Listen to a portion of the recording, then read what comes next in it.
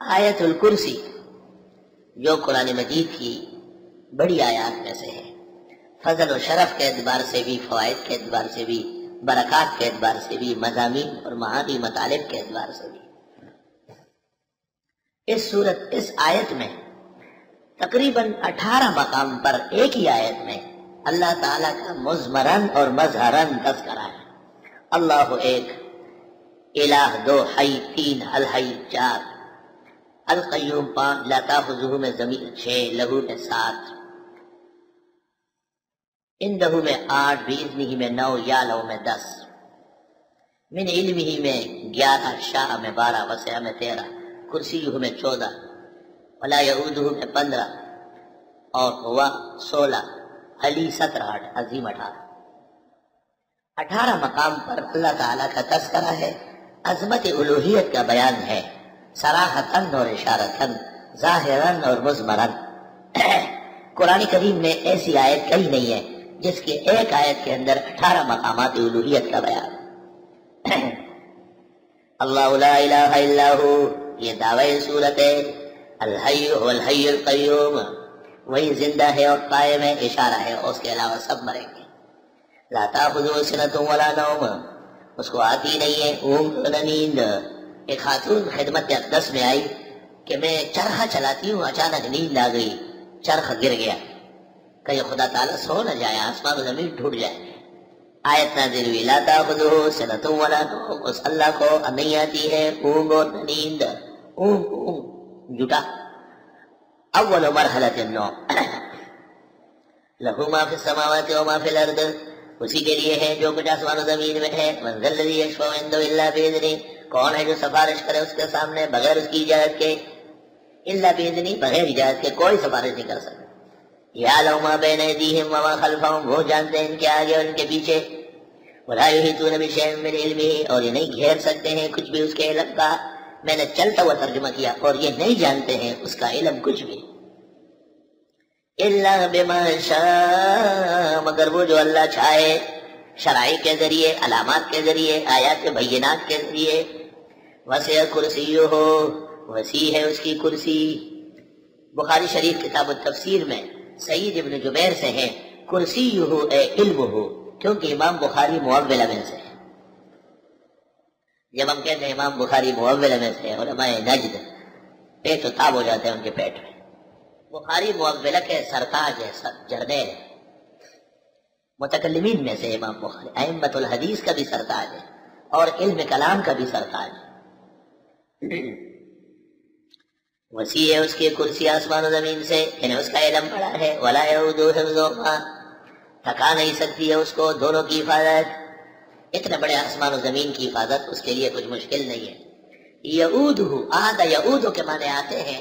کسی وزنی چیز کا سر پہ رکھ کے، جب آدمی چلنے لگے اور اس کے پیٹ میں پیٹ میں ہم آ جائے۔ اس کو کہتے ہیں آدھ فلان سر پر بڑا وزن رکھ کے چل نہیں سکتے۔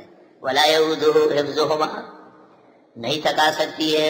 اس اللہ کو دونوں کی حفاظت وہ العلی العظیم اور وہ بزرگ برتر ہے۔ وہ العلی العظیم۔ شاہ ولی اللہ لکھتے ہیں۔ او بلند مرتبہ وہ بزرگ قدر است۔ او بلند مرتبہ وہ بزرگ قدر است۔ شیخ الہند مولانا محمود الحسن لکھتے ہیں۔ اور وہی ہے سب سے برتر عظمت والا۔ حکیم الامت مولانا اشرف علی لکھتے ہیں وہ علی العظیم۔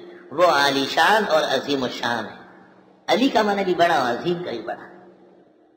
آپ کو سیر کراتا ہوں، ہمارے بزرگوں کے لب و لہجے کی۔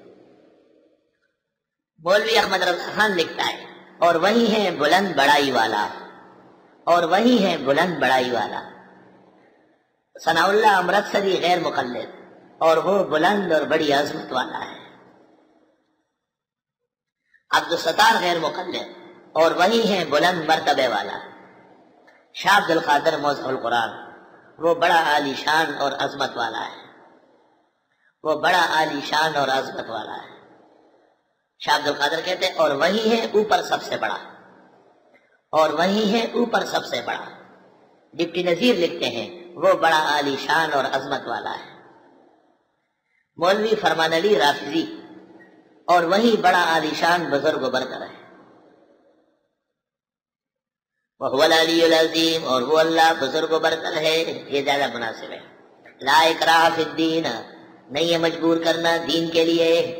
کیوں؟ قد تبین الرشد من الغی خوب واضح ہو چکی ہے دلائل گمراہی سے۔